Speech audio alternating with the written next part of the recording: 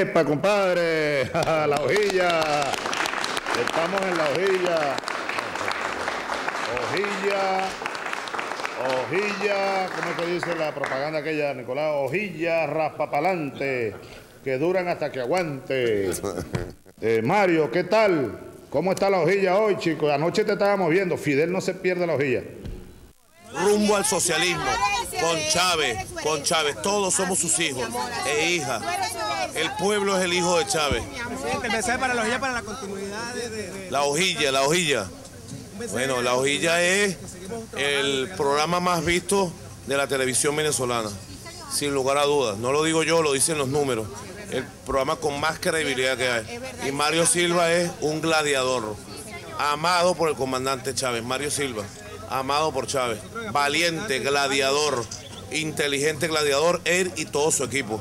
Así que honor a Mario Silva y a su programa La Hojilla, que en vida del comandante Chávez en este planeta, digamos, en vida terrenal, bueno, lo defendió con todo, pues, con todo, con los codos, con las uñas, con la verdad, con todo, siempre lo defendió. Gracias, Mario Silva, gracias, hermano.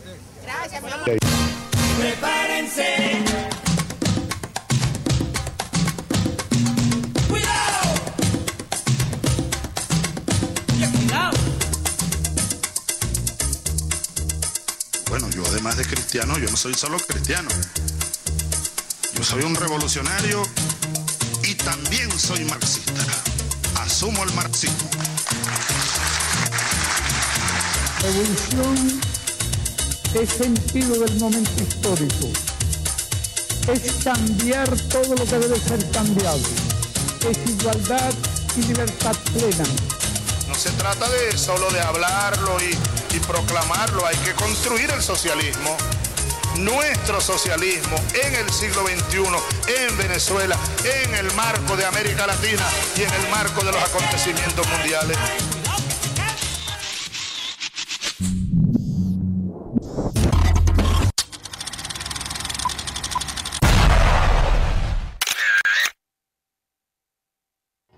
Colombia uno tiene que decirle a esos organismos internacionales que se han hecho los pingos con el problema de Venezuela, con un dictador que tienen allá al frente, que tienen que venir, por ejemplo, Naciones Unidas, Human Rights Watch, la Cruz Roja Internacional, que ojalá pongan un fondo común para estos venezolanos y mitiguen la situación de hambre que también están viviendo en nuestras calles, la situación de salud. Tiene que haber un fondo común de todas las naciones amigas de Colombia y de las naciones que permitieron, que han permitido la dictadura de Hugo Chávez y de Nicolás Maduro en Venezuela y ojalá algún día, pronto, a alguien se le ocurra pegarle un tiro a Nicolás Maduro. Soy Cali, soy candidata al Senado de la República por el Centro Democrático con el número 52. Me mantengo en la misma posición que dije ayer en el foro. Creo que Venezuela necesita urgente una intervención militar. Todos los destinos de los líderes eh, asesinos, dictadores en el mundo entero solamente me- merecen un final, salir de, la, salir de la faz de la tierra. Es absoluto y necesario sacarlo de la faz de la tierra. Me mantengo en la misma posición. Soy la número 52 al Senado de la República por el Centro Democrático. Estamos ante un dictador de talla mayor, eh, como un Stalin, como un Hitler, como un Pol Pot, como tantos otros en la historia, que el único destino de un dictador sangriento no debe ser morir en una cama de viejo, debe ser eh, judicializado, debe ser eh, condenado, debe ser rechazado por todo el mundo. Estos, eh, tiranos a lo largo de la historia han demostrado que nunca han tenido la intención de acatarse a una justicia, por lo tanto, ellos terminan siempre muriendo en su propia ley. Y la propia ley es eh, por la cual debe morir una persona como estas, por lo general siempre terminan muertos a manos de personas que son su círculo cercano, gente que se voltea y terminan aniquilándolos y terminan obviamente pues con un tiro en la cabeza o, o una intervención militar no es precisamente como para llevar flores a un dictador. Una intervención militar, los militares tienen armas, las armas por lo general son eh, pistolas, fusiles y estos fusiles tienen balas, las balas son tiros, pues terminan siempre con la, la humanidad de una persona de estas, que no, ni siquiera tiene humanidad. Candidata, Es- tenemos que hacer una pausa pequeña, pero por favor acompáñenos un rato más. Usted fue secuestrada en el año 99 y, si no me equivoco, el 12 de abril de ese año, eh, usted viajaba en un avión de Avianca junto a 41 pasajeros. Seis guerrilleros del ELN toman ese avión, usted estaba en ese avión. Y, y, le pregunto, cuando usted insiste en no retractarse de una aseveración tan polémica como esa contra Nicolás Maduro, ¿no le da miedo que Nicolás Maduro sea amigo de esos mismos guerrilleros que la secuestraron una vez?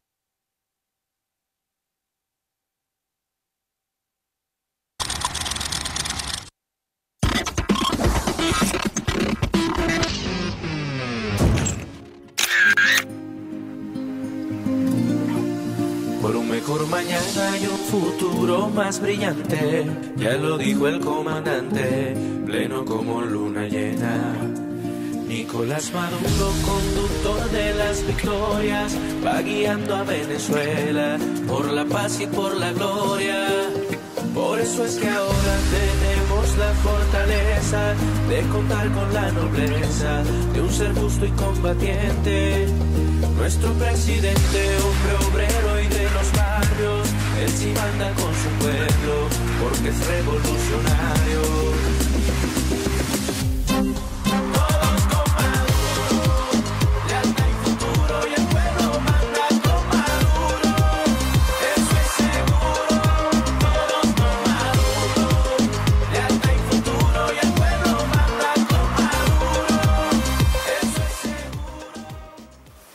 Buenas noches, ¿cómo están todos? Bienvenidos a Lojilla. Esta noche tenemos un invitado especial vía Skype. Pero vamos a hacer un comentario inicial. Primero que nada, agradeciéndole al almirante en jefe Remigio Ceballos Ichazo, comandante estratégico operacional del CEOFAN. Nos envía una carta de invitación. Tengo la honra de dirigirme a usted en la oportunidad de enviarle un caluroso saludo bolivariano, revolucionario, antiimperialista, zamorista y chavista, en nombre de la gran familia de la Fuerza Armada Nacional Bolivariana y el mío propio a la vez hago propicia la ocasión para hacerle llegar una cordial invitación como ponente en el marco de la celebración del quinto aniversario de la siembra del comandante supremo de la Revolución Bolivariana, Teniente Coronel Hugo Rafael Chávez Frías, cuyo tema es el legado del comandante supremo, Teniente Coronel Hugo, Chávez, Hugo Rafael Chávez Frías. Evento a realizarse en el Teatro de la Academia Militar del Ejército Bolivariano el día lunes 5 lunes 5 a las 9 de la mañana. Agradeciendo la atención presente. Muchas gracias al almirante en jefe Remigio Ceballos Ichazo. Muchas gracias por la gorra también. Bien, comencé con este video porque, no porque me importe, esta es una, un personaje medio oscuro ahí en Colombia. Anda, anda haciéndose propaganda propaganda para como candidata al Senado por el partido de Uribe, eh, de Álvaro Uribe. Bien, entonces no, no hacer mucho énfasis sobre la opinión de esta señora que tiene una larga carrera de escándalo, pero de ahí a... Pero sí me llama la atención que en Miami estén tan desesperados que una carlangola continúe haciendo de este tipo de personajes, los, los, los haga virales, ¿no? Y sobre todo nos da a nosotros un... nos da idea de cómo está, de cómo está la oposición venezolana que estuvo todas estas dos semanas con Rex Tillerson casi que montado en un altar, velas prendidas y todo, este, llamando a la intervención. Desde Washington, el señor Trump abriendo la boca demasiado. Y sobre todo haciéndose una campaña muy, pero muy dura en contra de Venezuela en la que han venido participando no solamente presidentes, presidentes de gobiernitos de pueblos que están en este momento circunstancialmente en gobierno en América Latina, de nuestros pueblos, esos pueblos hermanos, lamentablemente con ese tipo de presidentes. Pero llama la atención, no es solamente la propaganda, y luego vamos, vamos a hablar hoy con Giuseppe de Corso. Él es director en políticas públicas de la Universidad Simón Bolívar, profesor agregado de la, la UCB, es profesor este, de la Universidad de Buckingham eh, en la European School of Economics, Campus Milán, profesor del Colegio de Milano, y su principal área de enseñanza es la historia económica de Venezuela, historia económica de Colombia, economía del desarrollo, sociología del trabajo, economía empresarial, teoría del crecimiento, contabilidad nacional, demografía y migración. En este último punto, demografía y migración, es que yo quiero, eh, a Giuseppe de Corso, amigo, compañero, camarada, al que yo le he ido haciendo consultas, sobre todo en el área de Colombia, en el área de migración. ¿Por qué? Porque la idea es que nosotros, de una vez, con cifras, igual como hicimos con Pascualina Curcio en su momento, en el área económica, nosotros con cifras reales comencemos a trabajar el tema de la migración, de esa supuesta diáspora o éxodo.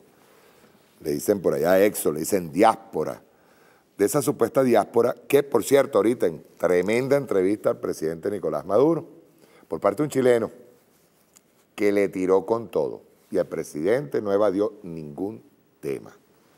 Le respondió a todo. Luego vamos a hacer, el día martes vamos a hacer en profundidad un análisis sobre esa entrevista, porque hay varias cosas, sobre todo viniendo del periodista, que me, me alegra enormemente que haya venido con todo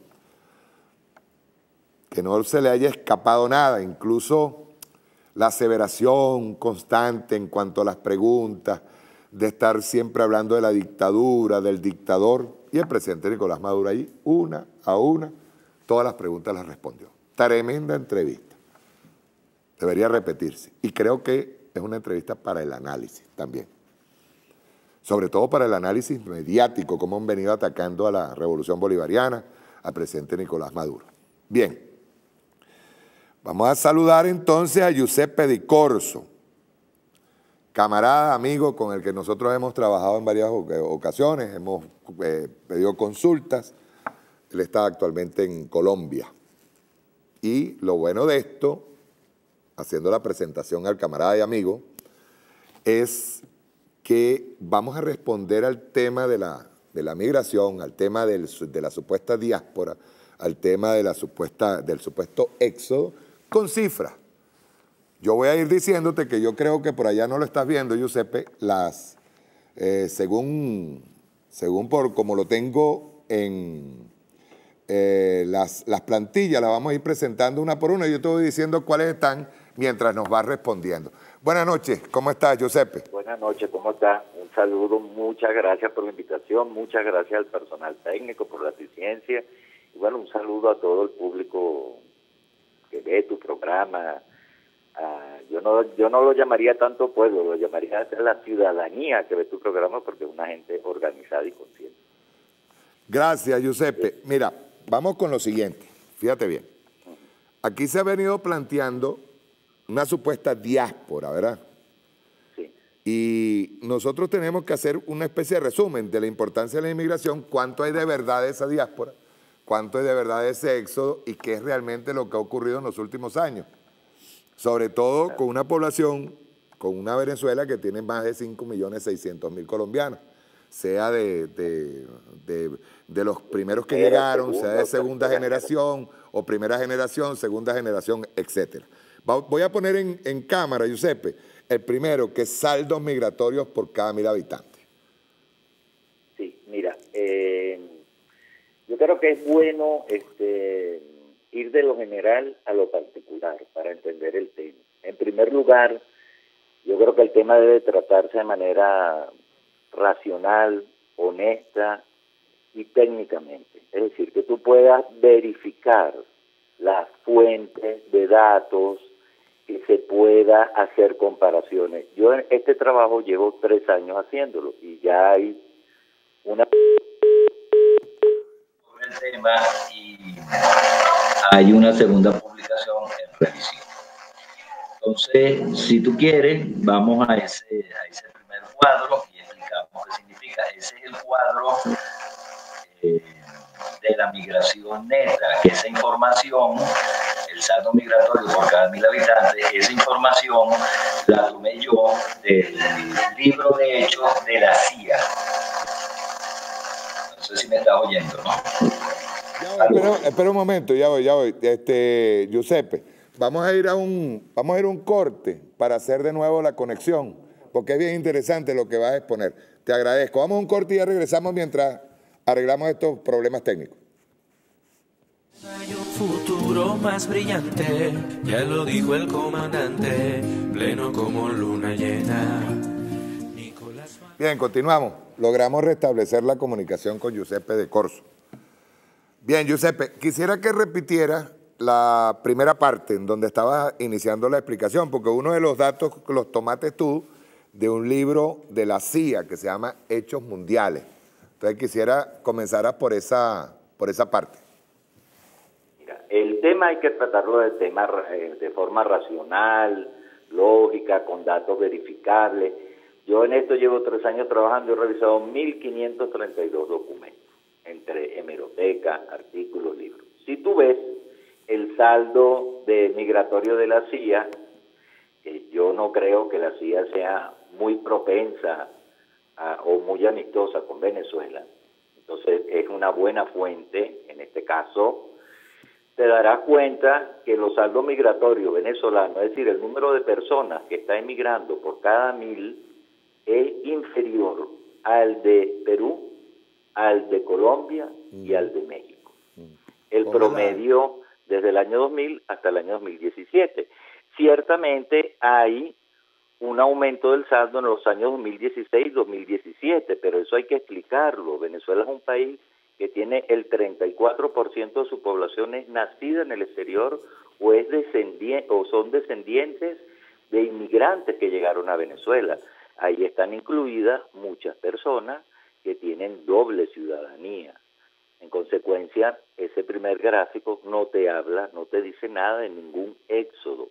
Lo que sí hay es una emigración de venezolanos dentro de unos rangos bastante, bastante normales para América Latina, inclusive un poco inferiores a otros países.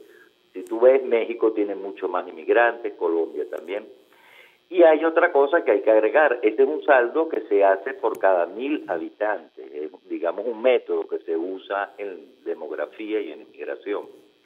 Pero Perú y Venezuela tienen los mismos habitantes, aproximadamente 30 millones de personas pero Colombia tiene 50 millones y México supera de largo los 100 millones. Así que la gente que está saliendo de México, de Colombia, de Perú, es mucho mayor en, términos absolutos que la gente que está saliendo de Venezuela. Yo no incluyo en ese gráfico otros países como Puerto Rico, donde realmente hay un éxodo. En Puerto Rico está saliendo por cada mil habitantes 17 personas. Tampoco incluía Siria, donde llegó la cifra a 100 habitantes por cada mil personas. Eso es un éxodo. Entonces, la idea del éxodo realmente eh, no, se, no tiene un fundamento estadístico, metodológico real. Eso, por ese gráfico, se lo puedo, se puede ver claramente. Y la fuente es una, no es una, es una fuente, digamos, que no está parcializada por Venezuela. Una pregunta, Giuseppe. Hablábamos, vamos a hablar de la importancia de la inmigración y su impacto en Venezuela. Tengo otra, otra plantilla en donde habla de hijos nacidos vivos desde el año 1944 hasta el 2016. ¿Qué importancia tiene esto en el tema que estamos tocando? Mira, fundamental, es fundamental.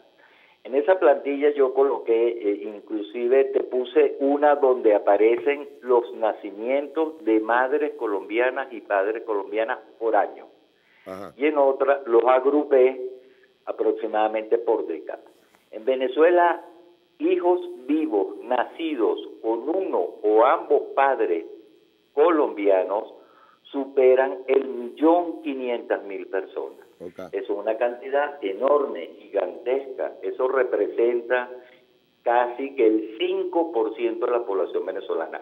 Cuando uno habla de migraciones, una, una, cifra de 5, 6, 7% es gigantesca. Para darte un ejemplo, en un país europeo como Italia, el 6% de la población es extranjera. Y eso incluye niños, hijos de italianos, perdón, y niños hijos de extranjeros que nacieron en Italia y que no son italianos, porque en Italia la nacionalidad solamente se da por sangre. Entonces hay un retorno, eso sí es cierto, y eso hay que admitirlo, hay un retorno de colombianos y de sus hijos a Colombia. De hecho, hace pocos días, en una entrevista que le hizo Caracol Radio a la canciller colombiana, afirmó ella misma, muy con cara de, preocupación, de, zozobra, que la OIM, que es la Organización Internacional de Migraciones, calculaba que se habían regresado o que se habían ido de Venezuela para Colombia 100.000 hijos de colombianos.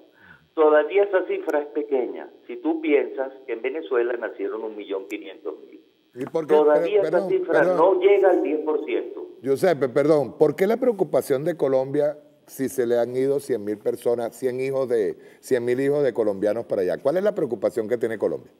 Mira, yo te lo voy a decir con la mayor claridad y te voy a poner ejemplo. Colombia no es un país para inmigrantes.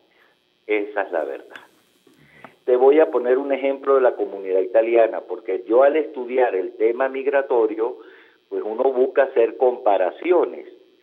Y bueno, uno trata de establecer comparaciones. Yo estudié un poquito el tema migratorio italiano hacia Colombia. En Colombia hay, con una población de 50 millones de habitantes, 2.500 italianos. Eso lo consigues tú en una cuadra en Caracas hay 20.000 descendientes de italianos. En un país de 50 millones hay 22.000 personas que, nacieron en Italia o, o son descendientes italianos. Para ponerte este número que es demoledor, entre los años 20 y 1983, 50 italianos solicitaron eh, la nacionalidad colombiana o la obtuvieron. Estoy hablando de 1920 a 1983, 50 personas. Colombia es el país con menos inmigración en América del Sur. Es muy difícil establecerse para en Colombia.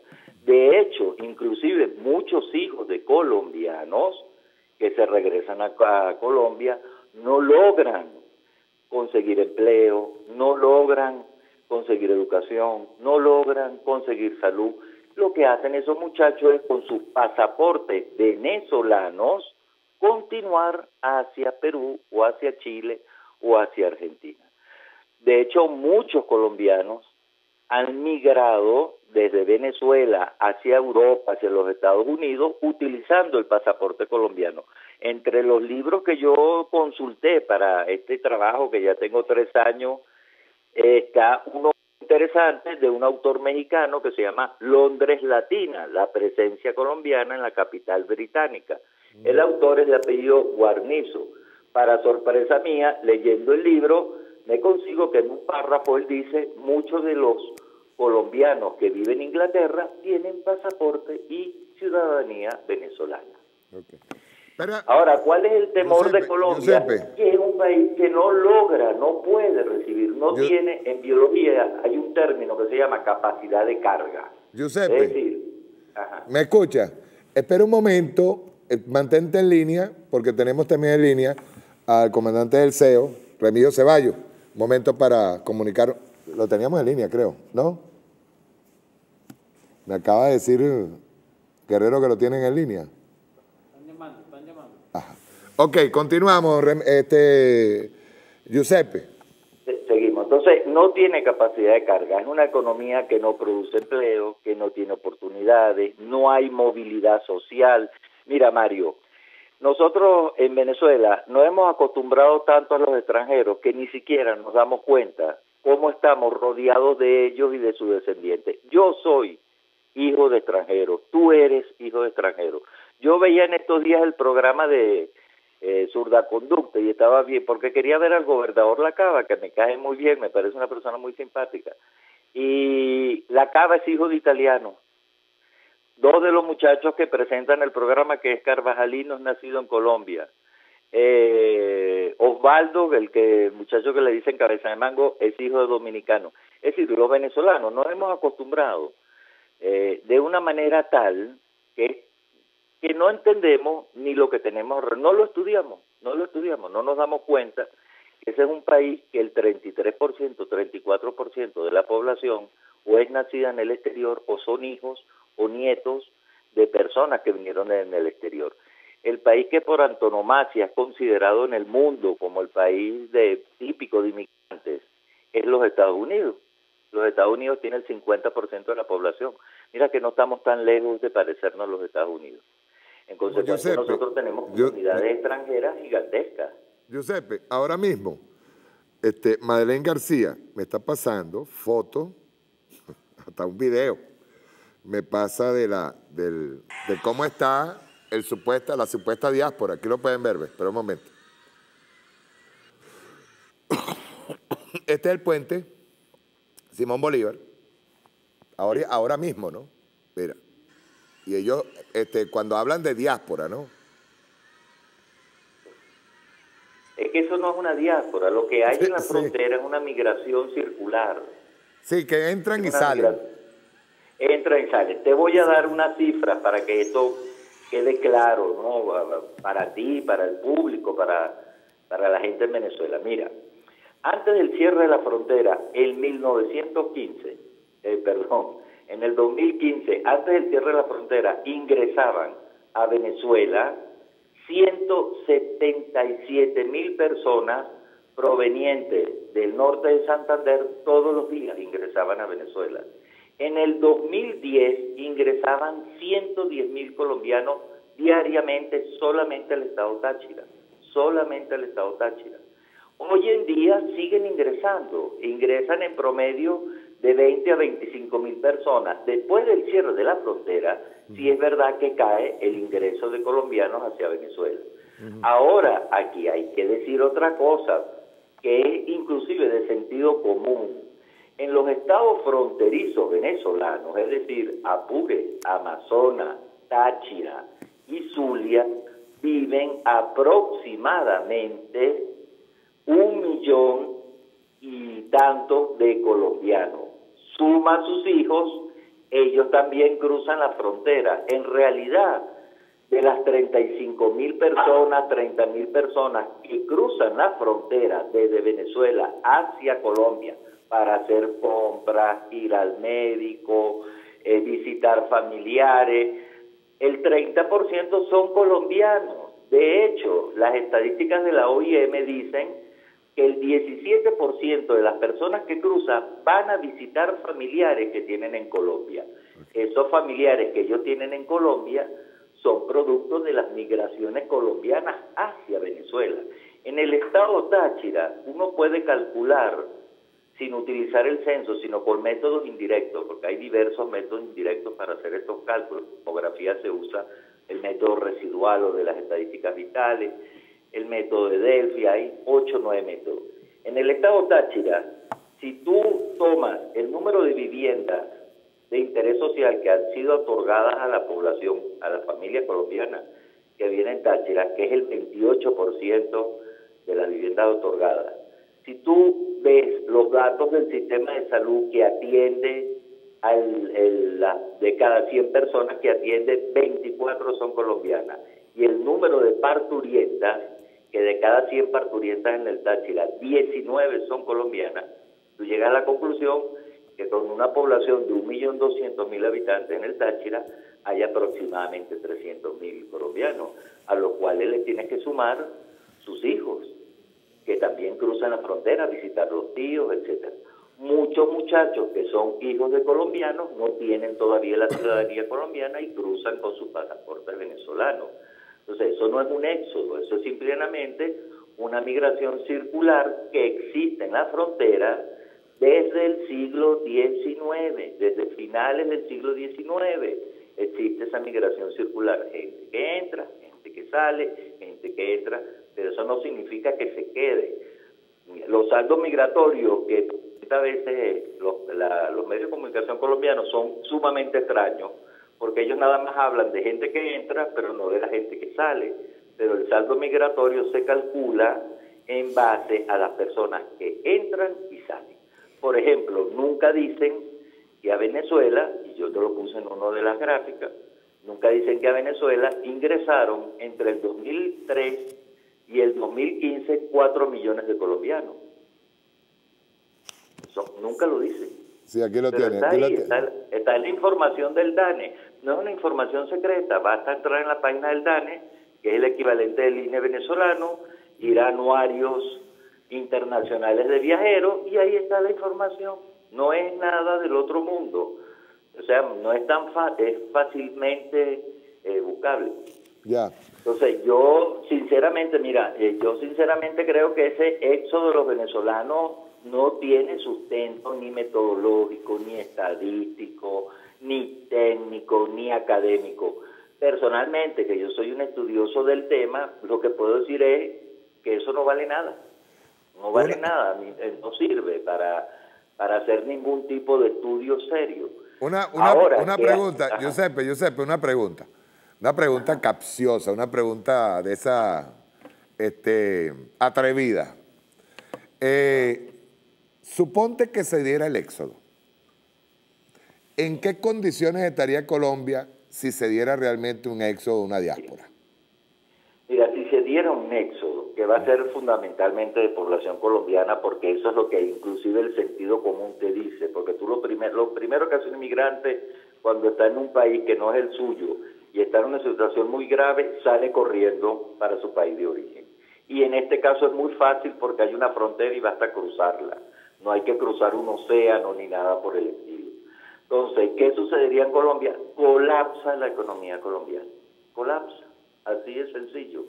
No hay en Colombia suficientes escuelas, suficientes hospitales, suficientes carreteras, suficientes viviendas para recibir a esas personas. No las hay. Esa es la realidad. Colombia es un país que lo que tiene son aproximadamente 200 mil inmigrantes en un país de 50 millones. Los venezolanos que viven en Colombia representan el 0,2% de la población eh, eh, total de Colombia. Y los residentes, que son los que tienen visa de residencia, porque eso es pura población temporal, son el 0,01%. No llegan a las 10 mil personas. Entonces yo a veces digo, bueno, mira, mira Mario, en realidad si, lo, si la población colombiana se quiere ir de Venezuela y regresar a su país, y si los hijos de los colombianos creen que van a estar mejor en Colombia, tienen todo el derecho a regresar a su país. Este, es su nación, es Colombia. es- a veces uno dice, caramba, ¿será que el gobierno colombiano no los quiere de vuelta? Se hace uno esa pregunta, ¿no? sí. Que es una pregunta así como capciosa, ¿verdad? Exacto. ¿Será que, hay- que sucede algo ahí que no los no los desea de vuelta? Y yo creo que no los desea de vuelta porque la inmigración colombiana hacia Venezuela fue una inmigración muy pobre, proveniente especialmente de la costa caribe, de los departamentos de la costa caribe, y de dos departamentos, sobre todo, el departamento Atlántico y del departamento Bolívar. Y hasta cierto punto yo creo que una manera de, de- y es un término muy fuerte, ¿no? El que voy a usar y a mí no me gustaría usarlo, hasta cierto punto creo que se deshicieron de esa población pobre al mandarla a Venezuela. Claro, no la quieren de vuelta porque les crearía todo tipo de problemas, de inconvenientes. Hay municipios en el Atlántico donde la llegada de mil, dos mil personas ha causado colapsos generales en el sistema educativo, de salud, etc. Implica un costo enorme para la sociedad colombiana, costo que la sociedad venezolana, con todos sus defectos, con todos sus problemas, ha venido de alguna manera sufragando a lo largo de décadas. Eh, yo te puse por ahí un, varios otros gráficas, inclusive uno sobre los barriles de petróleo que cuesta la población Ya colombiana. voy, ya voy, ya voy, ya voy, ya voy, Giuseppe. A eso le vamos a entrar ahorita luego. Primero yo tengo aquí una curiosidad. Tú me hablas del comportamiento de la inmigración española. Vamos a, a- a hacer, un, a hacer un resumen sobre eso, el comportamiento de la inmigración española en, en Venezuela. Eso es sorprendente, ¿no? Yo, claro, como te dije, mi, mi trabajo no es, como yo sé que hay gente que por ahí inventa números y que se autodenominan sociólogos, ¿no? que yo la verdad que yo lo que digo es que mejor se metieran a hacer otro tipo de trabajo, porque del tema definitivamente no entienden. Yo me metí en los institutos estadísticos de los países europeos que son mucho más serios. A la hora, los periódicos son una cosa en los países europeos, pero los institutos estadísticos son muy serios y no reflejan las cifras que hay en los grandes medios de comunicación. Entre el año 2009 y el año 2016 te das cuenta que los nacidos en España se mantienen muy estables en Venezuela. No cambia mucho la población, pasa de 57 mil personas en el 2009 a 54 mil personas en el 2016. Es decir, yo no sé qué ha sucedido en el 2017 porque los datos todavía son provisorios, los que está publicando el, el INE español, porque así se llama. Ahora, te das cuenta que los nacidos en Venezuela con ciudadanía española, y aquí matamos dos pájaros de un tiro, porque uno ahí se fija que hay descendientes de esa población, pasan de 97 mil a 128 mil. Otros son españoles que nacieron en otros países, por ejemplo, eh, perdón, eh, eh, ciudadanos españoles que pudieron haber nacido en Perú, en México, pero viven en Venezuela. Y el total va de 159 mil a 188 mil entre el año 2009 y el año 2016. Estos son estadísticas oficiales del padrón de españoles residentes en el extranjero. Esto no lo publicó el país de España, no lo publicó el periódico S, el ABC, nada de eso. Estos son estadísticas oficiales. ¿Qué tú qué ves ahí? ¿Tú ves ahí un gran retorno de gente? No, no lo ves. Se fueron dos, tres mil personas en, eh, eh, españoles hacia España en los últimos uno, dos, tres, cuatro, cinco, seis, siete, ocho años. Eso es todo. Entonces, yo no veo, eh, ni siquiera se ve un retorno masivo de la población en Venezuela. No quiere esto decir que no hay una crisis, que no esté saliendo gente, pero es una cuestión muy relativa. Tendría uno que analizar prácticamente nacionalidad por nacionalidad que es residente en Venezuela para ver quiénes son los que se están moviendo. En mi opinión muy personal, pero basado en datos que son reales, que son verificables, porque yo puedo decirte, Mario, en la China hay un millón de venezolanos, pero eso no es verdad. Yo tengo que, o sea, como investigador, tengo que verificar que eso sea cierto. Ahora, en mi opinión muy personal, sí hay un retorno de colombianos y de sus hijos, eso sí. Y yo creo que eso es la mayoría de la gente que está saliendo de Venezuela. Quiero hacerte otra pregunta, ahora va. ¿Cuáles son los efectos de la inmigración colombiana o, o la importancia de esa segunda generación? sus efectos económicos. Incluso vamos a hacer el cálculo que tú planteas, del cálculo cuánto nos ha costado en barriles de petróleo, sé que vamos a hablar de, algún gasto. Vamos a hablar un, un poquito de eso y yo creo que también sería bueno incluir el tema de cómo la economía venezolana, gracias a la inmigración, ha sido muy funcional para la economía eh, colombiana. Si tú te fijas en ese gráfico, ¿qué hace un economista? yo soy economista de base, un economista construye modelos que tratan de representar la realidad simplificándola. Eso es lo que es un modelo. Un modelo econométrico, un modelo cuantitativo, cualitativo, etcétera, lo que trata es de hacer eso. Yo lo que hice fue, dije, bueno, como es muy complicado porque no tenemos en gran parte no tenemos en Venezuela buenas estadísticas de gasto, de inversión social, perdón. Eh, yo dije, voy a partir de la premisa que si el petróleo venezolano se repartiera en términos equitativos en educación, en salud, en subsidios a la gasolina, en viviendas de interés social, en alimentos eh, subsidiados, si ese petróleo se repartiera de forma equitativa ¿qué sucedería? ¿Cuánto le tocaría a los colombianos? Bueno, fíjate, de 1970 pasó de 18 mil barriles diarios a 166 mil barriles en el 2015. Eso significa, para ponerlo en números redondos, que el gobierno venezolano, o sea, la sociedad venezolana, gasta, y esta cifra yo creo que debería uno de anotarla, eh, antes de decirla sentarse para no desmayarse.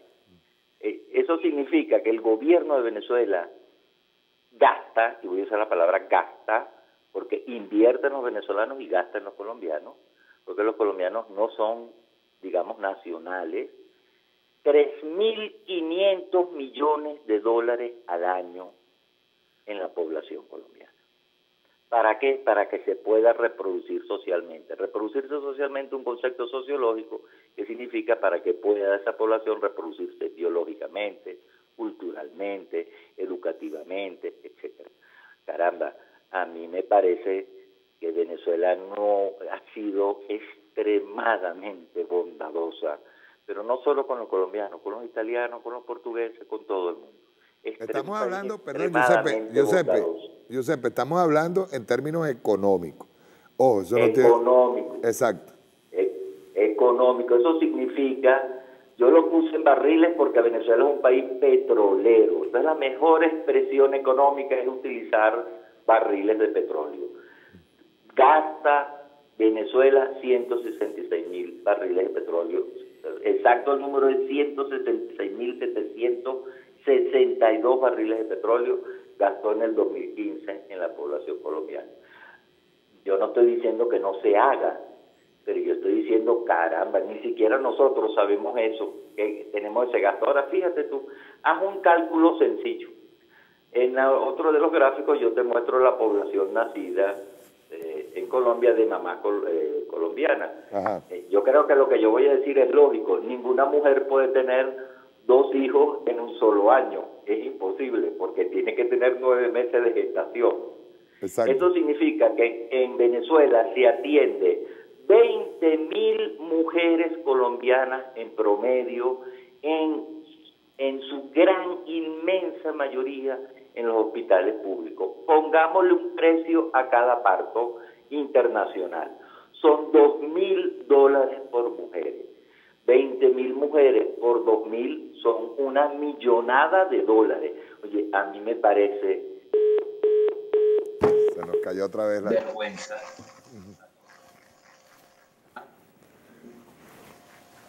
No se le encuentra, no se le, no se logra escuchar por, por Skype. Vamos a, a tratar de inmediato, porque hay una parte que nosotros estuvimos hablando. Yo digo esto para que el gobierno colombiano entienda, entienda el tremendo compromiso que ellos tienen al aliarse a los norteamericanos. Porque si hay un pueblo que los ha recibido desde hace bastantes años, incluso vamos a irnos a los tiempos de Bolívar, que este, el ejército venezolano cruzó, cruzó esa frontera para ir a liberar pueblos en Latinoamérica. Y esto no es, esto no es patrioterismo, esto no es cliché, ni mucho menos, sino que siempre Venezuela ha tendido la mano al inmigrante. Siempre, sobre todo al inmigrante colombiano desplazado. Cuando nosotros hablamos en términos económicos, es para ver si el gobierno colombiano, si el gobierno colombiano tiene la- la- la- las cachazas, pues, tiene la, liviandad de venir a hablar del peso, como, como dijo esta señora que, le, perdón, que le, que le augura un tiro en la cabeza al presidente Nicolás Maduro. Ellos hablan del peso económico que tiene Venezuela en Colombia. No, es al revés. Y esto lo dicen no solamente una loca como esta persona, y discúlpeme, esta persona es, or- es orate, está loca. Una persona que públicamente diga que un presidente de la República, un presidente, sea quien sea, se le da un tiro en la cabeza, no puede estar, no puede estar bien de la cabeza. Pero no solamente eso, sino que es la premisa que han estado montando, la propaganda, que es lo que puede ocasionar y, ojo, al terminar de hablar con Giuseppe, yo no me voy a ir sin hablar del- del- de la resolución del año 2005 de la ONU. Que eso hay que hablarlo, eso hay que, mantenerlo. Noam Chomsky, en, en una entrevista recientemente, se refirió a ella. Eh, Miguel de Escoto, que fue vicepresidente, perdón, fue secretario general de la ONU, también se refirió a esta resolución. Pero una de las premisas, una de las cosas que han estado bailando en el, en, ok, en, una de las premisas que han estado bailando en torno a Venezuela es que Venezuela es una carga económica para el mundo. No, eso no es así.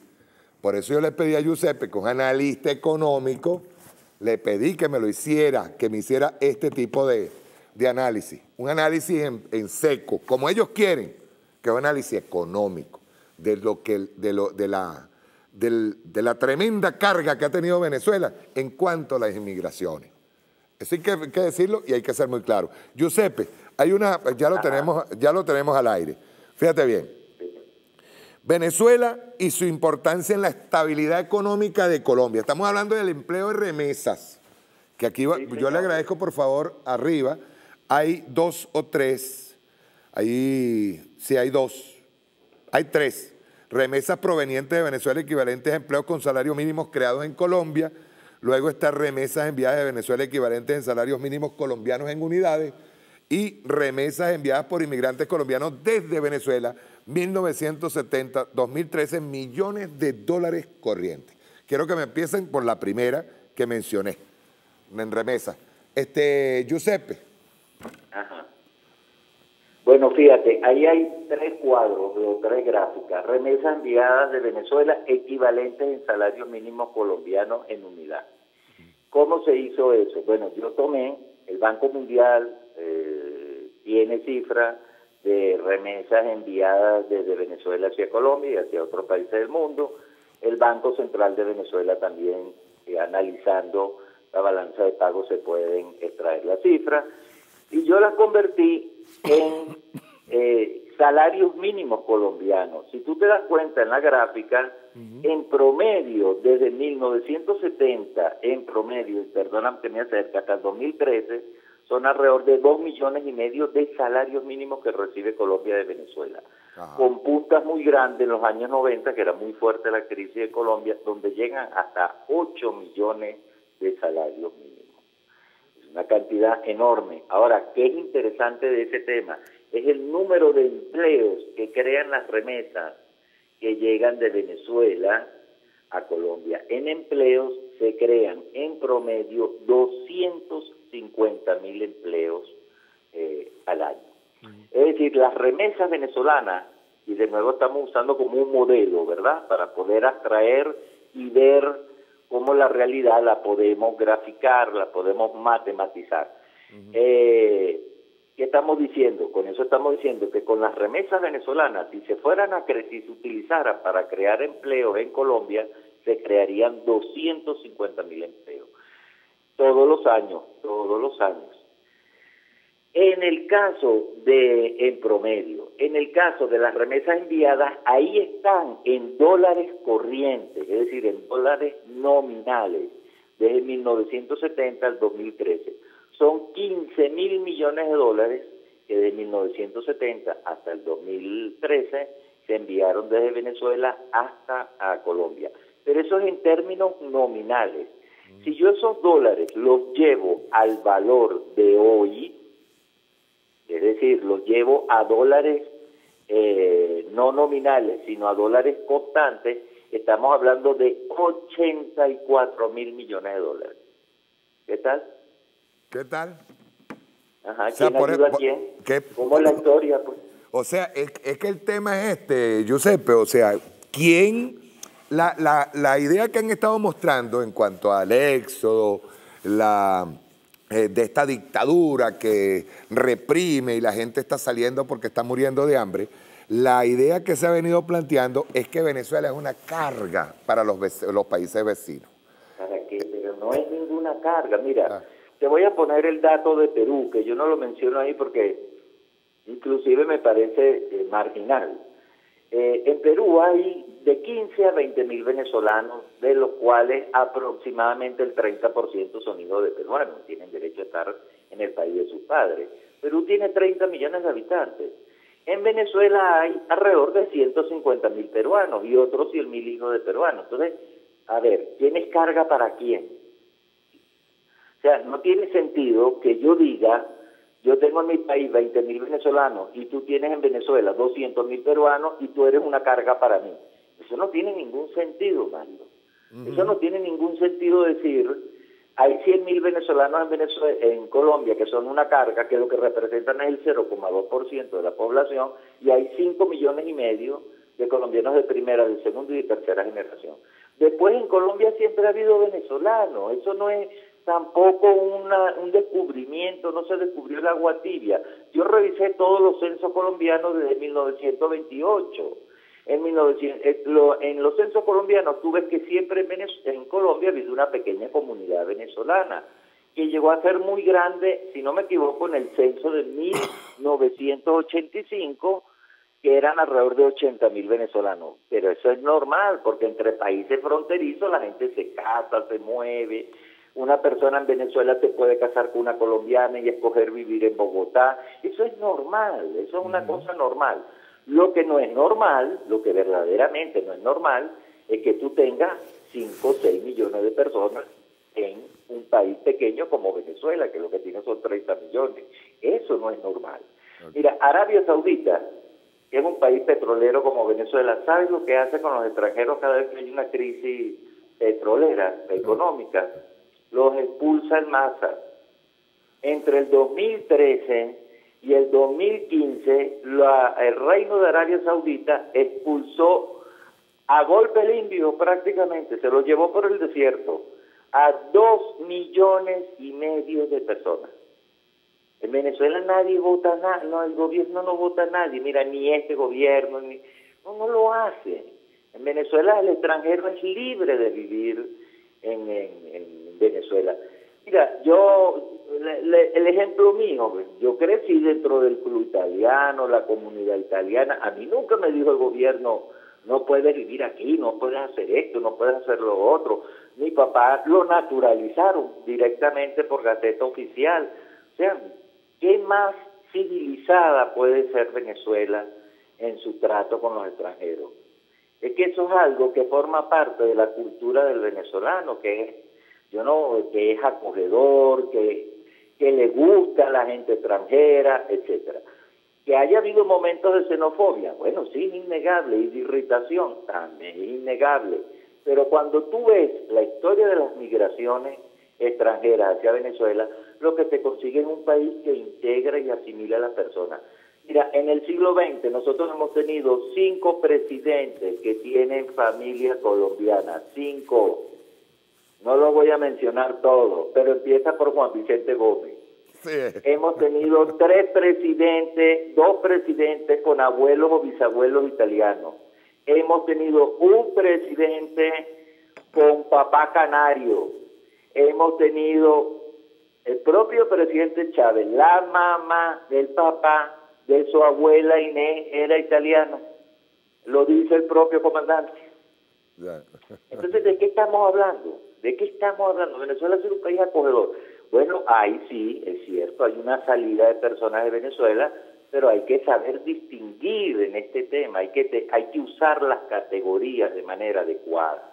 Hay que decir, bueno, mira, hay ciudadanos que son venezolanos que no portan otra nacionalidad, que emigran. Hay ciudadanos que tienen doble nacionalidad, que pueden ser italianos y venezolanos, colombianos y venezolanos, portugueses y venezolanos. Hay ciudadanos que son naturalizados, es decir, que nacieron en Colombia en Portugal y tienen la ciudadanía venezolana. Entonces tú tienes, hay ciudadanos venezolanos casados con extranjeros que salen, pero inclusive cuando tú ves los saldos migratorios que da la, la CIA y tú ves los saldos migratorios que yo mismo calculé utilizando el método residual, que además yo no entiendo cómo en Venezuela tantos expertos que hay que hablan del tema no saben hacer una no saben usar una simple ecuación compensadora para sacar ese número porque para hacer ese número hacen falta tres datos los censos el número de nacimiento y el número de funciones. Ya está es una simple ecuación tú despejas y puedes calcular el saldo migratorio Bueno, le acaba... le- Venezuela han salido al máximo 700 mil personas eso. Giuseppe. y esas 700 ajá Giuseppe, le acaba de dar la fórmula a los, a los eruditos matemáticos de aquí. Mira, una, una última, una, última una última pregunta te voy a hacer. Tienes cinco minutos para respondérmela para entrar al otro tema. ¿Existe realmente una crisis humanitaria en Venezuela? No, porque es que no hay ni, mira, la palabra crisis humanitaria tiene, los conceptos hay que emplearlos de acuerdo a su peso. yo no puedo llamar a un perro elefante, porque un perro no es un elefante. En Venezuela no hay una crisis humanitaria, hay sí una profunda crisis económica porque el país atraviesa por una contracción posiblemente la peor de la historia petrolera venezolana por una contracción de la renta petrolera. Pero de hablar de crisis humanitaria a crisis económica hay una brecha. Otra, otra, otra, otra pregunta, Giuseppe. ¿Hay guerra económica en Venezuela? Por supuesto, pero es que eso no está de anteojito, eso ni siquiera yo creo que uno debe de hablar. Mira, es que eso, vamos a dar dos cifras para entenderlo. Cuando el presidente Chávez ingresó al poder, el 1% del petróleo venezolano se exportaba a los Estados Unidos y las reservas de la Paz del Orinoco estaban en manos de dos empresas, que era ConocoPhillips y la empresa donde trabajó el canciller norteamericano, Tillerson, la Exxon, ¿no? Exxon. Cuando ahorita, el año pasado, el 45% del petróleo venezolano se exporta a Asia y las reservas las controla PDVSA, en ciertos casos en asociación con empresas rusas o empresas chinas. ¿Qué pasa? Venezuela cambia su eje, su centro de gravedad de alianza mundial de el mundo occidental al mundo euroasiático.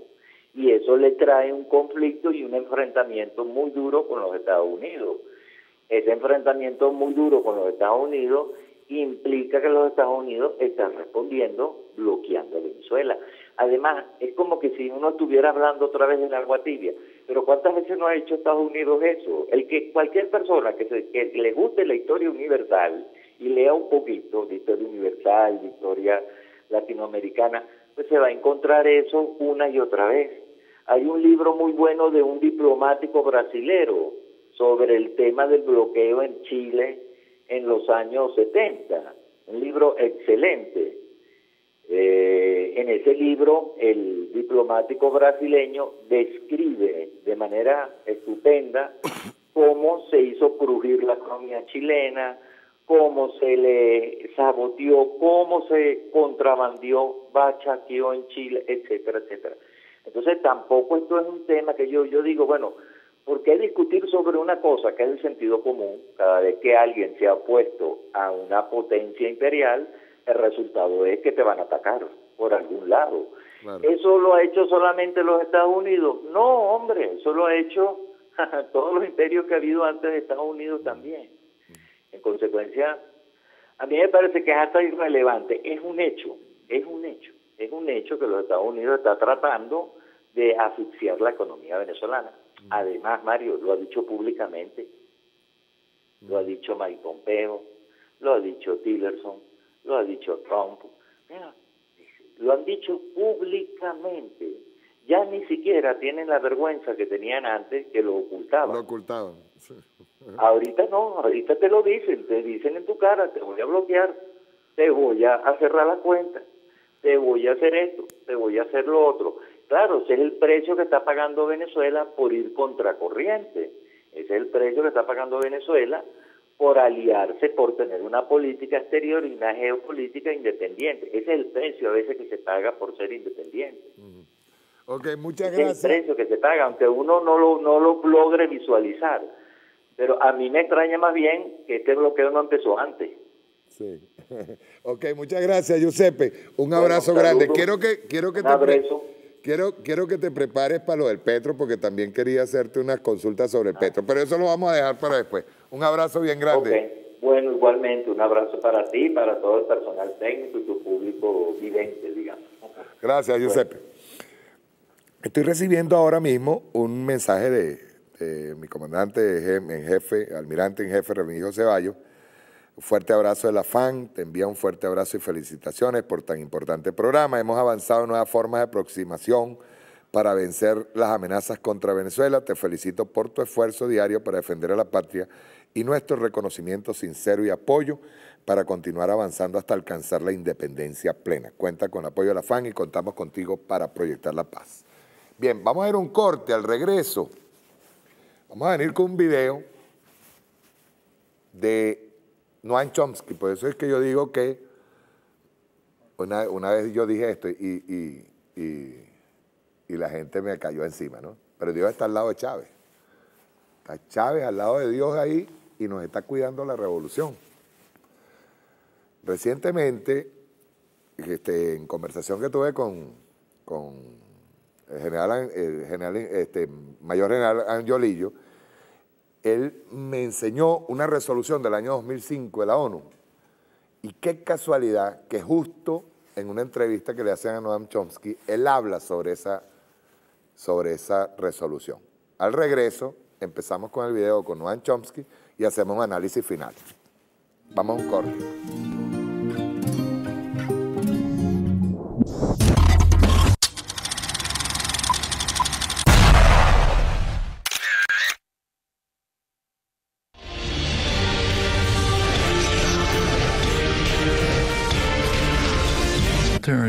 Intervention is a very interesting one. Almost every act by any great power is uh, aggressive act is justified on humanitarian grounds. So from the point of view of the aggressor, it's a humanitarian intervention, not from the point of view of the victims. And it's probably if we had uh, records from Attila the Hun, we might find the same thing. What is counted? The one, the one, one that is counted is the bombing of Serbia in 1999. Forces, Albanian forces based in Albania were entering Serbia, uh, carrying out terrorist attacks in order to elicit a harsh Serbian response, which could be used as a justification for uh, NATO, in, meaning U.S. intervention.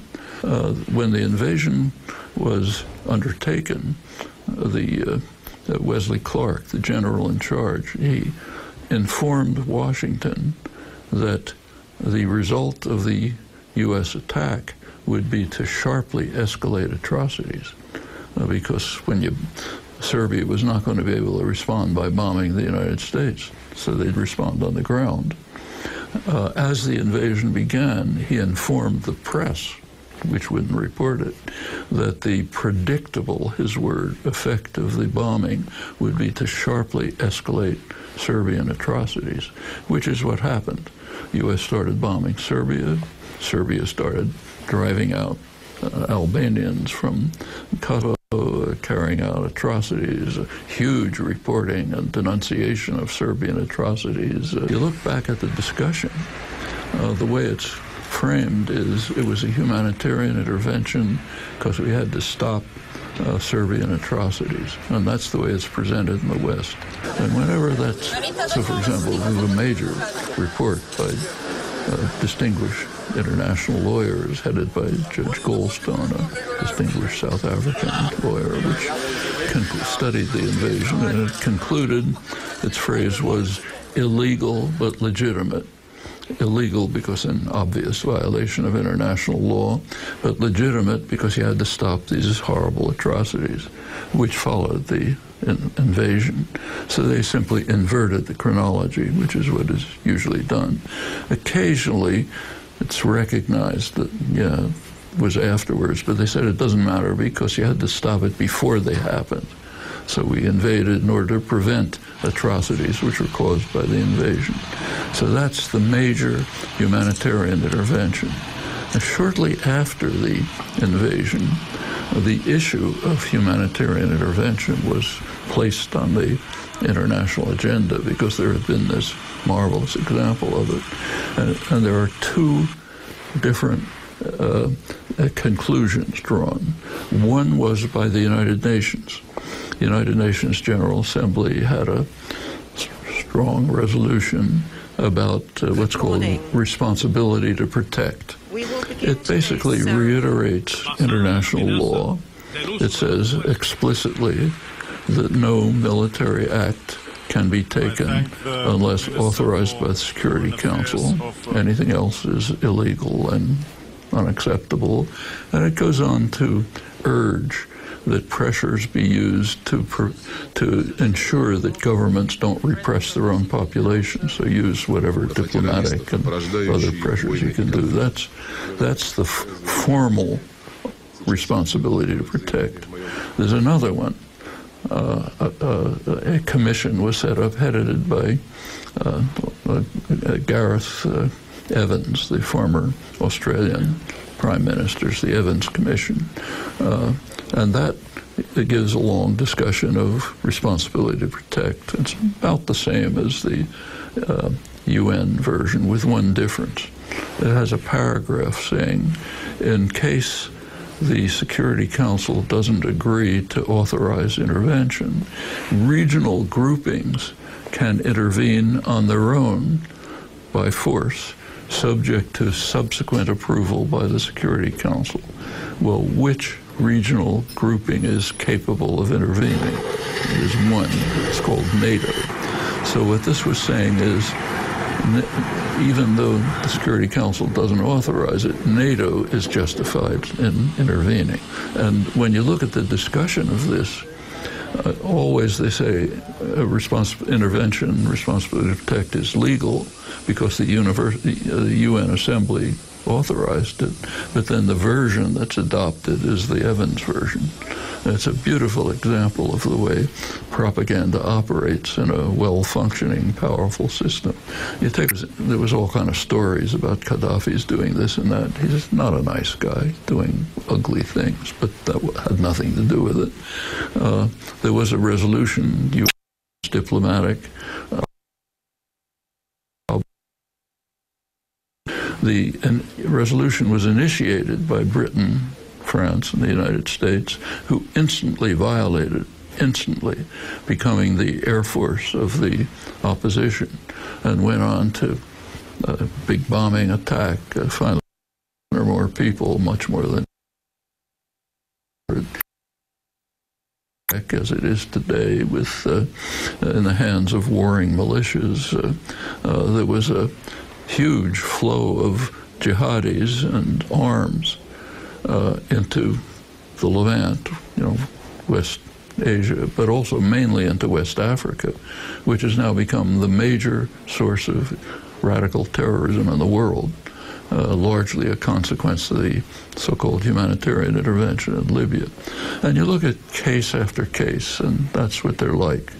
Occasionally you can find an example that maybe you could argue is humanitarian intervention, but those are but those are not permitted because the U.S. bitterly opposed them, fought against them, and it's the wrong people anyway, even the wrong color. You know? So that's humanitarian intervention. We all know what that means. Protection of the nation from foreign terrorist entry into the United States. It's big stuff. First of all, I, I think one should be cautious about talking about the CIA. The CIA does not act on its own. The CIA is an agency of the executive branch, and they, there's almost no exception to this. They just do what they're told. One of their jobs is uh, to allow uh, a kind of denial, like the executive can say, I, I didn't know this was happening. So it's uh, you can blame things if something goes wrong or there's some atrocity. You, can say the CIA is responsible, and the, the executive branch, which is giving the orders, has uh, the possibility of denial. You know, so when we talk about the CIA, we're really talking about the executive uh, branch of the government. And yes, they behave differently. So, for example, Latin America during the last 20 years has pretty much thrown them out. Now, the last one you may remember was uh, in Ecuador, the Manta, and uh, Correa, Rafael Correa, told the United States that they could keep the base if he could put one in Miami, which is an indication of the shift in relations.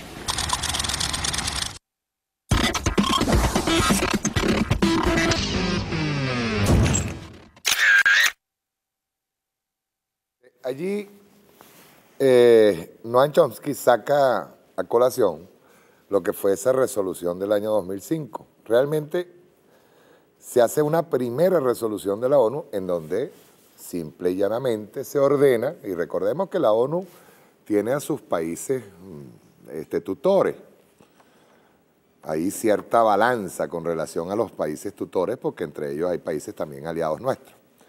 Pero lo que es claro es que eh, las Naciones Unidas saca primero una resolución, comienzan a hacer un estudio en el año 2000, luego de los bombardeos en Kosovo, de la, de la serie de atrocidades que se venían cometiendo en que, y que en definitiva estaba metido Estados Unidos en, esa, en, esa, en esos bombardeos, en donde acudió por encima, George Bush, hijo, acudió por encima del Consejo de Seguridad y comenzaron los bombardeos en Kosovo. Bien, el hecho claro es que luego meten en la, eh, em, llaman una ONG, muchas de ellas dependientes de, incluso de ACNUR, que es un organismo dentro de la, de refugiados dentro de las Naciones Unidas, y que ACNUR está evidentemente sesgada, llaman a una, incluso financian por cerca de, de 4 millones y medio de dólares, de los cuales 2 millones y medio de dólares los pone Estados Unidos, para hacer, la financiación aparece por parte de ACNUR. ¿Qué es esto que aparece aquí? La responsabilidad de proteger, que es un informe que sale con la aparente connivencia de las Naciones Unidas, hecho por este que menciona este, Noam Chomsky, que se llama Garrett Evans quien fue primer ministro de Australia. ¿Verdad? En su prefacio, en su prólogo, el señor Gareth Evans dice lo siguiente. Prefacio. El presente informe versa sobre el denominado, entre comillas, derecho de intervención humanitaria. Es decir, la cuestión de si es adecuado que los estados adopten medidas coercitivas y en particular militares contra otro estado para proteger a personas que corren peligro en ese otro estado y los casos en que pueden hacerlo. Y fíjense, agrega algo más. Hasta que los horrendos sucesos del 11 de septiembre de 2001 pusieron en primer plano la respuesta internacional frente al terrorismo, la cuestión de la intervención con fines de protección humana era una de las más controvertidas y complejas de las relaciones internacionales y con el fin de la Guerra Fría, la polémica se reavivó más que nunca. El señor Garrett, Garrett, Garrett Evans, quien hace este prefacio, parte de un supuesto negado, de un supuesto que incluso luego es puesto en evidencia, que es el ataque a las Torres Gemelas del 11 de septiembre. Un ataque que hoy por hoy muchos ponen en duda hayan sido terroristas y un ataque que propició, por eso este informe, por eso este informe para la resolución del año 2005, un ataque que propició el, mismo, el mismo Departamento de Estado y la CIA, que dicho sea de paso, está bien bueno y esa última explicación que hace Noam Chomsky con relación a la CIA es excelente. La CIA es el Paganini el Paganini de todo lo que hace el Ejecutivo y ordena el Ejecutivo norteamericano. ¿Qué pasa con esto? Primero que está partiendo de un supuesto que no había sido investigado y que tuvo, muchas dudas. ¿Por qué? Porque con, la, con lo de las Torres Gemelas, George Bush se erige como policía mundial. Estados Unidos se erige como policía mundial en ese momento. Año 2001, Estábamos cerquita del golpe de Estado, que por cierto, el golpe de Estado lo origina una queja abierta del comandante Chávez en cuanto a los bombardeos en Irak, en Afganistán, perdón, en Afganistán. Entonces, ¿qué abren ellos? Primero, este informe que va a concluir en una resolución del año 2005, un informe aparte del que se había hecho inicialmente que se respetaba la soberanía de los pueblos, y el derecho a, auto, autodenominarse como Estado. El hecho claro es que con esta resolución y este informe, los Estados Unidos estaba pagando o estaba cubriéndose o curándose en salud de todos los actos de terrorismo que ellos mismos venían cometiendo en contra de los pueblos. Las intervenciones en ese momento, incluyendo la de Libia, después del año 2005, se hace sin la aprobación del Consejo de Seguridad, que es realmente cuando se, lo que tenía que hacerse. Pues Estados Unidos no podía llamar a la OTAN, vamos en contra de Libia, primero porque en Libia no estaba pasando nada, ellos crearon la guerra. Y eso está más que probado. El hecho claro es que ya muerto Gaddafi, ya todas las muertes que hay en Libia, nadie puede echar atrás eso. Por eso es que esta resolución es tan terrible. Es más, Miguel de Escoto y otro, otro relator de, la, de las Naciones Unidas fue en contra de esa resolución del año 2005. Y Venezuela, entre otros, Nicaragua, Venezuela, todo con el comandante Chávez, este, mm, vetaron esa ley. Pues no es que la vetaron, la respondieron y fueron muy críticos a esa ley, a esa resolución. A esa resolución. Entre otras cosas, esta resolución dice, para que tengan una idea de lo terrible, digo, partiendo del hecho del, del, derribo de las Torres de Mela, que fue un hecho ya que no solamente está puesto en duda, es que la mayoría piensa que fue el mismo gobierno norteamericano se hace, esta operación de bandera falsa para poder tomar el control del mundo, o sea, erigirse como policías mundiales. Pero hay unos, unos yo, yo quisiera leer completo el día que vaya a ser una, una definición más, más clara de lo que es esta resolución, porque con esta resolución es con la que se está moviendo Tillerson, se está moviendo Donald Trump por América Latina. Mosca con esto. Es de allí donde está partiendo. Pasar por encima del Consejo de Seguridad de la ONU. Bien, él tiene aquí en la, lo que llaman principios precautorios de la responsabilidad de proteger y principios para la intervención militar en, este, en esta resolución, en este informe primero, la resolución vino después. Dice, intención correcta. es verdad lo que dice, lo que dijo ahorita Giuseppe, esto están cada día más cínicos y se han ido poniendo más cínicos porque de verdad creen que tienen el poder mundial cuando los pueblos son los que realmente al final van a tener la, voz. Y no va a haber genocidio que los pare. En los principios precautorios dice, A, intención correcta. Se las leo. Esto es informe que originó una resolución en el año 2005 por parte de ONG pagadas por el gobierno norteamericano. El fin primordial esto le llaman intención correcta. El fin primordial de la intervención, independientemente, vean bien este párrafo, de que los estados participantes tengan otros motivos, debe ser atajar o evitar el sufrimiento humano. ¿Qué son independientemente tengan otros motivos? Bueno, tomar los recursos de un Estado al que ellos dicen necesita, ellos dicen, dictaminan, pasan por encima incluso del Consejo de Seguridad y dictaminan que hay una crisis humanitaria que hay que, que atacar. Te crean una coalición, por ejemplo, lo que estaba haciendo Tillerson. Tillerson realmente vino a hacer una coalición con Colombia, con Perú, con el, el, el GAN de Lima. Trataron de hacer una coalición. Lo que pasa es que del dicho al hecho hay muchos trechos. Y recordemos que el escenario bélico no es solamente Venezuela. Todo país que ose atacar a Venezuela también se convierte en escenario bélico. Esto no lo dije yo, esto lo dijo aquí Pedro Carreño. Yo creo que debe ser así también. Y lo digo con toda responsabilidad. Quien nos ataca y está cerca tiene que atenerse a las consecuencias.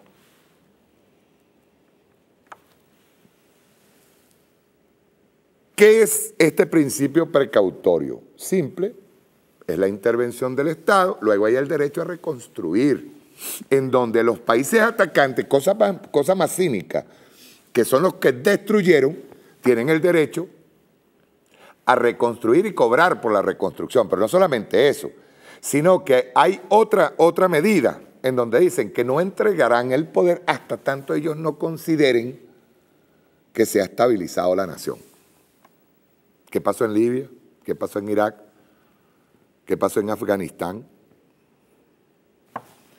Dice por acá, en el 1415, sobre la autoridad competente. Vean ustedes esto, que era lo que mencionaba Noam Chomsky. El Consejo de Seguridad deberá examinar sin demora toda solicitud de autorización. Recordemos que este es un informe que ocasionó una resolución en el año 2005, pero es un informe privado, de relatores privados que se lo hicieron a ACNUR y a las Naciones Unidas. Y eso originó una resolución que provocó una crisis. Es más, que provocó la disolución de la Comisión de Derechos Humanos y pusieron ellos a lo que le dio la gana. Ojo, en las Naciones Unidas. El Consejo de Seguridad deberá examinar sin demora toda solicitud de autorización para intervenir cuando se denuncien grandes pérdidas de vidas humanas o depuraciones étnicas a gran escala. El Consejo habrá de verificar suficientemente los hechos, las condiciones sobre el terreno que puedan justificar una intervención militar. Pero agrega, en caso, vean esto, y esto es lo que decía Chomsky, en caso de que el Consejo de Seguridad rechace una propuesta o no la examine en un periodo de tiempo razonable, existen las alternativas siguientes. La uno, que la Asamblea General examine la cuestión en un periodo extraordinario de sesiones de emergencia con arreglo al procedimiento establecido en la resolución Unión Pro Paz. Y la segunda, vean ustedes por qué esta resolución fue hecha para violar articulados de la ONU en donde se habla de la, de la independencia de los estados. Y dice que una organización regional o subregional en virtud de lo dispuesto en el capítulo 8 de la Carta, actúe dentro de su zona de jurisdicción y posteriormente solicite la autorización del Consejo de Seguridad. Eso no es más que, por ejemplo, se le ocurriera al señor eh, Trump, ¿verdad? Que son los que están detrás de la CIA, o coloquen a la CIA por delante para cometer la atrocidad de agarrar y decirle a Santos, a Kuczynski, a todos estos vagabundos del GAN de, Lima, le digan vamos a unir, a unir una fuerza de coalición para atacar a Venezuela y luego le pedimos, después eh, que, que, hagamos el daño, le pedimos permiso al Consejo de Seguridad. no, es no, es que le pedimos permiso, que al final le informaremos, porque ya el daño está hecho. En los principios operacionales, vean bien cómo sale quién es el tutor de esto. A unos objetivos claros, un mandato siempre claro e inequívoco y recursos adecuados. Recursos que por supuesto van a ser cobrados al país invadido. Luego. B. La adopción de un planteamiento militar común por las partes implicadas, unidad de mando y jerarquía de mando y comunicaciones claras y inequívocas. ¿A quién le van a dar la, la unidad de mando? O la jerarquía de mando. C. La aceptación de ciertas limitaciones, aumento progresivo y gradación de la aplicación de la fuerza, siendo el objetivo proteger a una población y no derrotar a un Estado, para que ustedes invaden. Porque en todo caso, no solamente van a derrotar al Estado, van a matar, van a crear las condiciones para un genocidio en contra de un pueblo. Unas reglas de combate que se ajusten al concepto operacional y sean precisas, reflejen el principio de proporcionalidad y respeten plenamente el derecho internacional humanitario. Ya el hecho de una agresión ya no respeta el derecho internacional humanitario. Nada más ese solo hecho. Y lo de proporcional, yo quiero recordar Grenada, quiero recordar Panamá para que veamos lo proporcional que ha sido Estados Unidos, que es el que va a tomar el mando, por supuesto. La aceptación de que la protección de la fuerza no puede convertirse en el objetivo principal. ¿Y qué es cuando se, en esta resolución o en este informe se dice que no entregarán el mando al pueblo, como dicen ellos, o a sus habitantes hasta tanto no se haya consolidada la paz? y la máxima coordinación posible con las organizaciones humanitarias, que por cierto son las ONG que propiciaron, ONG todas sesgadas, que propiciaron este informe. Es bueno que hagamos una lectura amplia de este informe. Este informe tiene que ser publicado, ¿no? Porque uno de los principales este, organismos que no aceptó esta resolución, hoy tiene más vigencia que nunca, que es el movimiento de países no alineados, el, el menor que nosotros somos presidentes pro tempore en este momento.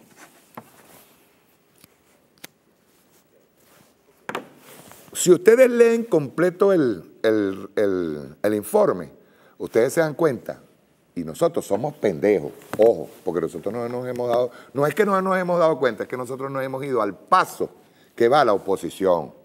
Cuando la oposición lanza a, la calle a una Lilian Tintori a hablar de violación de derechos humanos aquí, sin ninguna prueba, y haciendo informes, ¿verdad? Perdón, al lado de ella va un tipo haciendo informes y presentándola a la Corte Penal Internacional. Primero la OEA. Ellos quemaron los cartuchos de la OEA y saben que al mugre o al magro quemó los cartuchos. Cuando sale fulano de tal, cuando sale un Antonio Ledesma, un ladrón, ¿verdad? Sale y propicia en España, ¡pum! Hay un relator al lado.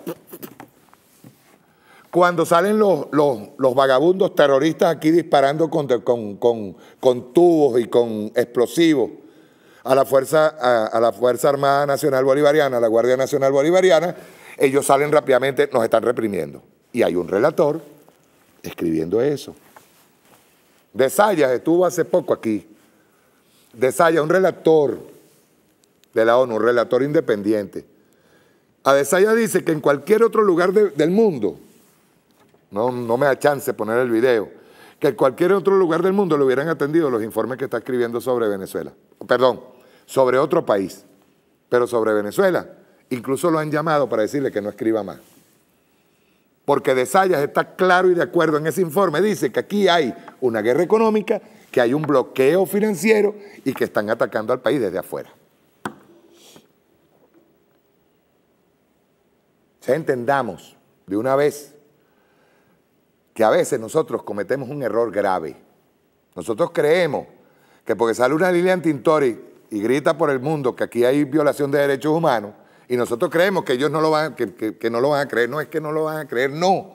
Es que hay una fuerza totalmente contraria a los movimientos progresistas que va a estar creando las condiciones para que haya una intervención en todos aquellos países en donde se supone hay movimientos progresistas haciendo revolución. El caso de Ecuador, por ejemplo.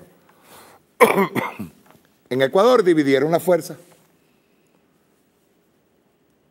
A lo mejor Rafael Correa fue ingenuo, no sé, eh, eh, eh, hubo algo de ingenuidad o sabía lo que venía con relación a Lenín Moreno.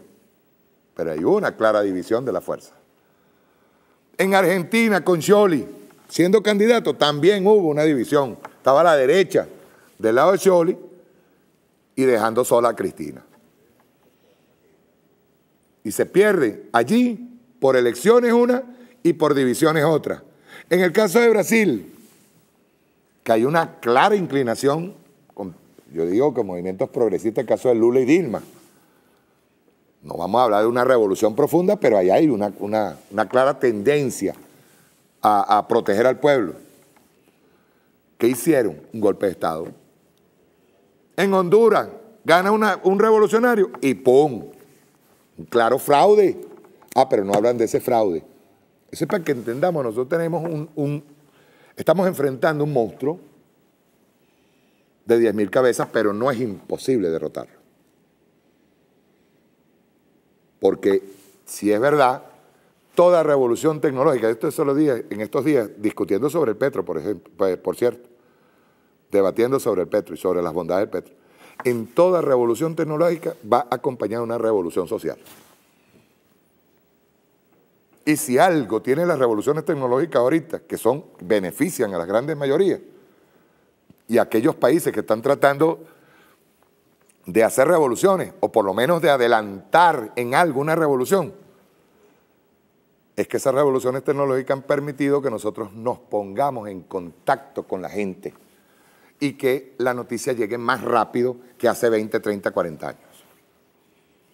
Antes una intervención, por ejemplo la intervención de Panamá, eso llegaba por las agencias noticiosas que les interesaba decir que un hombre que fue de la CIA como Noriega estaba siendo este, sacado del poder por narcotraficantes, pero no dijeron lo que pasó en el Chorrillo. Lo del Chorrillo se supo después. Lo que pasó en Grenada. Primero dividen a la revolución grenadina y matan a Maurice Bishop. Y luego se van con la invasión, diciendo que, ah, bueno, que Cuba estaba poniendo ahí un aeropuerto militar que iba a servir de, enlace con la fuerza soviética. Ahora no, ahora la información llega rápida, verás. Por eso la locura, y con esto culmino, de gente como la tal Lili, Lili Cali, que salen diciendo ya sotovoce, por desesperación, que al presidente Nicolás Maduro, ojalá al presidente Nicolás Maduro le metan un tiro en la cabeza. Esto forma parte de la desesperación ahora mismo del fascismo internacional, de la oligarquía colombiana, de la oligarquía peruana. Nosotros le demostramos aquí con numeritos, con numeritos, pues nosotros aquí no hablamos pendejadas, nosotros discutimos aquí con numeritos. A ver, ¿quién tiene más problemas económicos, si Colombia o Venezuela? en las circunstancias en que estamos. ¿Quién es, el pueblo que está más oprimido en este momento y llevando más, llevando más golpes? Y nosotros podemos demostrarle eso mismo en Perú, podemos demostrarle eso mismo ahora mismo en Macri con más de un millón y medio de desempleados. Lo podemos demostrar con un Estado mexicano que tiene un, doble rasero, tiene un, Estado narcotraficante dentro del Estado corrupto ya de por sí, que va en contra del pueblo mexicano. En Panamá, Costa Rica, acaban de meter preso a Colón y a Colón se la cobraron. Saqueos en Bogotá. ¿Alguien ha hablado de los saqueos en Bogotá? Por ahí están saliendo los saqueos en Bogotá. Por hambre. Por hambre. Por eso nosotros tenemos una grandísima eh, ventaja tecnológica que está provocando una revolución social en el mundo. En España, ya en España no pueden seguir ocultando, a pesar de todos los medios, a pesar de cómo embobaron a la población española con, con eh, programas de concursos, con todo eso, nosotros tenemos la oportunidad de crear las condiciones a través de las redes, imagínense ustedes con las redes, lo que nosotros podemos hacer es llegar de la verdad, llegarle a, hacer a que vean la verdad a los pueblos en el mundo. Ellos no podrán contra eso. Eso se le llama guerrilla comunicacional. Suena, suena así como las guerrillas de los años 60, pero ¿qué guerrilla? Nosotros estamos atacando a los factores dominantes del mundo. Estamos tocando intereses de transnacionales, el poder de Estados Unidos, el poder económico de los Estados Unidos. Nosotros lo estamos tocando. Obviamente nosotros somos un enemigo. Yo hoy estuve viendo con detenimiento la entrevista al presidente Nicolás Maduro. Excelente respuesta. Y el periodista que tenía al lado, un periodista que incluso llegó a utilizar términos. Menos mal que el presidente dejó pasar. Pero términos que son como para decirle, no, es que eso no es así, eso es igualito que cuando dice, usted metió preso a fulano de tal. No, el presidente no mete preso a nadie. No, hay una investigación, hay unos hechos y va preso. No, que usted metió preso a Leopoldo López. No, no, el presidente Nicolás Maduro no metió preso a Leopoldo López. Hay unos hechos, se probaron y él va preso, igual como los, políticos, que, los políticos que tenemos presos, por ladrones algunos, otros por asesinos, otros por instigación a la violencia. Eso no es que viene el presidente y dice, métamelo preso, no, eso no, eso no funciona así.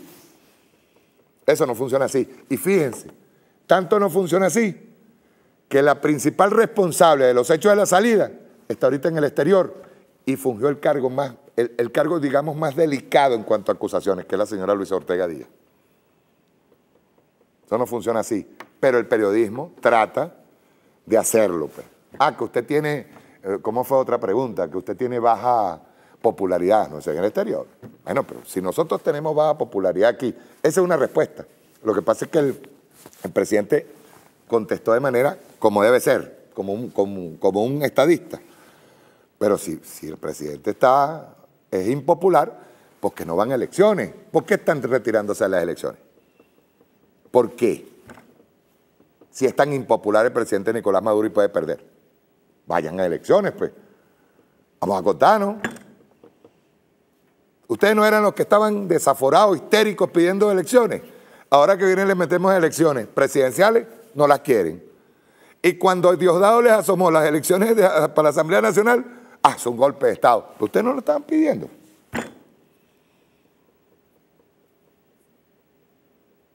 La próxima vez les, propongo hacer un análisis sobre ese periodista que vino de Chile.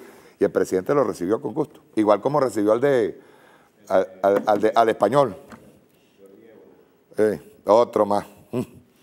Y es que toditos tratan, tú sabes, se hacen de liberales y se hacen de revolucionarios y al final terminan es haciéndole compañía a los grandes medios internacionales. Eso es todo. Chao, nos vemos el próximo martes.